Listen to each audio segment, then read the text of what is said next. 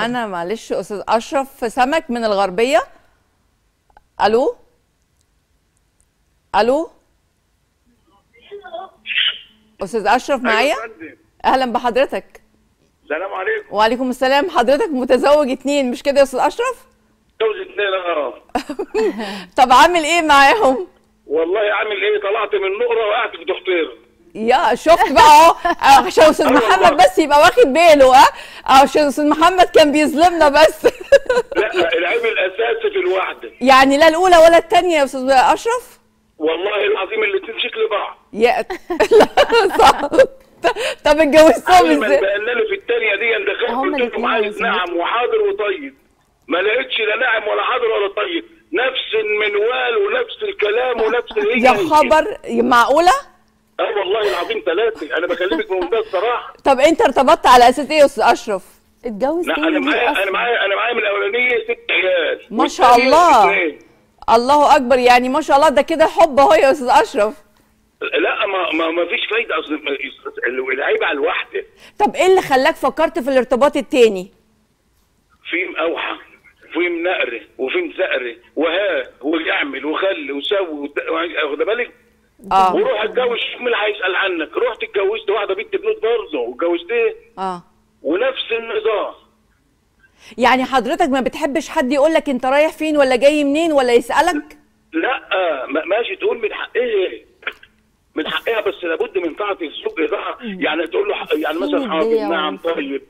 طيب دكتورة هبه. هتسأل حضرتك برضو. ه- هي دايما بتقف لك واحدة قدام واحدة وتحاول تسأل كتير وتحاول الله. تأوحك في الكلام وكده. الله ينور عليك. الله ينور عليك. والتانية نفس الكلام؟ والله هي هي. تلك طيب بقول لك وانت طيب حضرتك لما جيت تختار التانية ما اتكلمتش معاها إن ده بيضايقك؟ قلنا لها الكلام ده في اول بقول لك قبل ما أخش أول ما دخلت البيت قلت لهم الكلام ده هو أنا أنا تعبان من دي لأنها دي فاهم أوحى وفيها رد عايشين حاضر. الاتنين مع ما أنا بعض والله كنت لسه آه. الاثنين أيوة، واحدة واحدة واحدة في الدور الثاني واحدة في الدور الثالث الاثنين في نفس البيت في نفس البيت مفيش كلام. فاضل الدور الرابع يا أستاذ أشرف حاجة متولي نشكرك ميرسي لحضرتك الله يكون في عونك والله. هو يكمل الدور الرابع ولو عايز ياخد الروب بالمرة. هي الفكرة هنا فكرة إن الزوجة التانية بدأت تستخدم نفس طريقة الزوجة الأولى. آه بالظبط. ليه؟ هو ما لأن حسش بفرق للأسف ليه؟ لأن هي حست إن الزوجة الأولى كده بتاخد حقها آه فأنا كمان ما هي الزوجة التانية بتحس إيه بقى الند بالند. قلتيه. آه والزوجة التانية بتحس إيه؟ آه. هو أنا عشان التانية هيبقى حقي مه... مه... متاخد بقى ومهضوم ومش بي... مش بيدوني حقوقي ومش بيديني حقي. آه. لا أنا كمان ه- هبقى واخدة حقي وليا حقوق عنده عشان ما يضحكش عليا ولا يطلقني ويرجع للأولى. هو ده بداية الصراعات طب ليه الزوجتين. إحنا ما بنبصش للأولاد في الموضوع دوت؟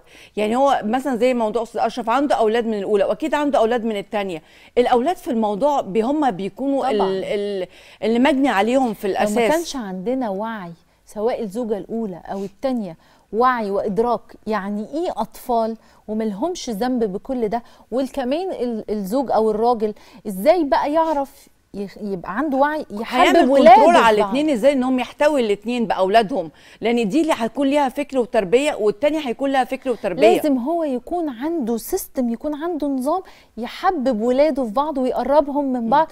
آه، يفصل تمام تماما عن دماغ الستات بقى هنا وهنا. فكرة إن دي بتقول ودي بتعيد وده بيحصل وبيجرى وده كله والولاد يدخلوا في الهاسل دي أو يدخلوا في نطاق الدايرة ال ال ال بالشكل ده هنا هن هنولد أو هيبقى عندنا ولاد بنفسيات آه، صعبة جدا ومرعبة. لازم هو يبقى عامل حدود وعارف إزاي يقرب ولاده من بعض. بالظبط.